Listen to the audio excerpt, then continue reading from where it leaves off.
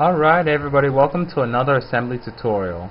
Um, in this tutorial I want to go over how to define integers and as well as how to make our compilation process um, seamless and integrated um, by using Linux shell scripting. Um, I have a tutorial on my channel on how to do Linux shell scripting but um, if you want to go ahead and pause the video and copy down this script real quick, it makes uh, your life easier. Otherwise, you can just do what we've been doing, which is nasm-f and you know all that jazz, and then convert it to you know by using the script, I just make it a little bit more easier on myself. Okay, so this is this entire script in its entirety. Okay, uh, back to our assembly program. Now, we're going to talk about how to declare integers and assign values to it and change values and then as well as print out that value to the screen to show what's going on. Okay, so let's get to it. We're going to define, back in our data section, we're going to define an a variable called i and that variable is going to be uh, a double a double um, it's a defined double uh, so this is the basic breakdown of all these types of uh, keywords in uh, NetWide assembler. Uh, defined byte is 8 bits, so in other words it's a byte. Defined word, a word is 16 bits, okay? And uh, defined double, a double is a 32 bits, so that's your integers um, and your floats. And uh, this should be defined Q, it should be DQ which is a defined quadruple and that's 64 bits. Okay so in this case we're, we're declaring an integer and an integer if you're familiar with C or C++ or Java an, int an integer is uh, 32 bits in length. And so that's what we're doing here. We're gonna say that this number is um, this variable is going to be of size uh, double word.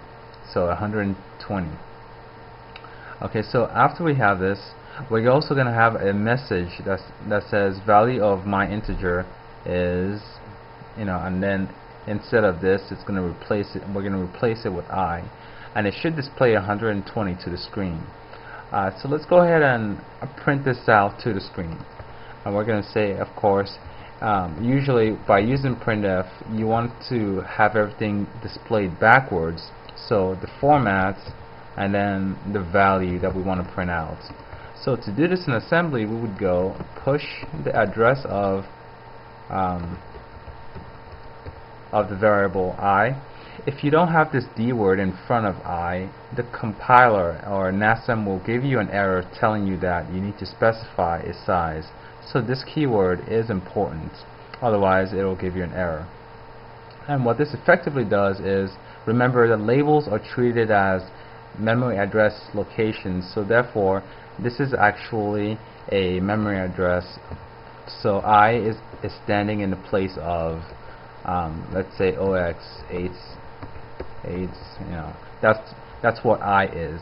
It's a memory address. So all this does is push that memory address onto the stack.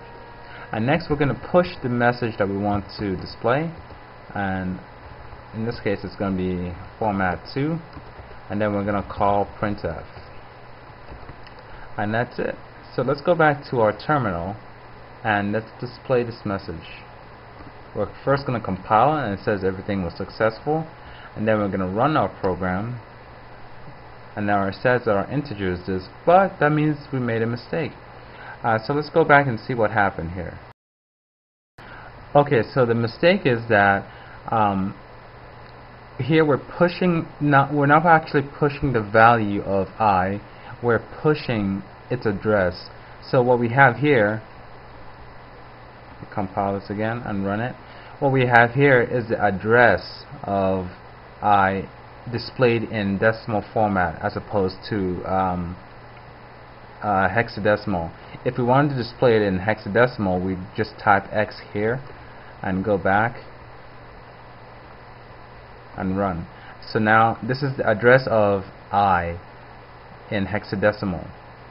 But that's not what we want. We want we want the value 120 displayed to the screen. So therefore what we have to do is change here into braces and and um, this says instead of uh, look at the memory address and take its content and push it onto the stack. So in this case, this is effectively pushing 120 onto the stack. And so let's compile this again, run it, and as we can see it's 78 and 78 is hexadecimal for uh, 120 and let's change this back to D.